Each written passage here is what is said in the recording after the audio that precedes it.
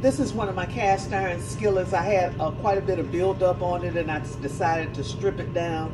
So I stripped it down with some easy off and scrubbed it real good because it had a lot of buildup right around here.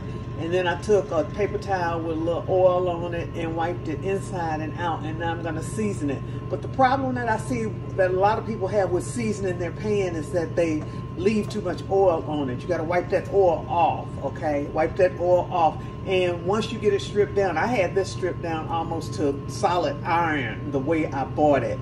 And so uh, I may have to season it a couple of times. Okay, that's what I wanted to share with y'all. Y'all go out and make a great day. Bye now. And here it is.